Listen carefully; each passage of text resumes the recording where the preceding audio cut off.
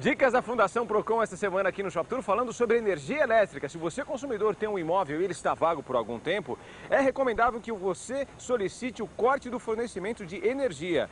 Esse procedimento pode evitar fraudes e irregularidades por terceiros, além de render a economia do pagamento da taxa mínima de consumo mensal. A gente volta já já aqui no Shop Tour com mais dicas da Fundação Procon.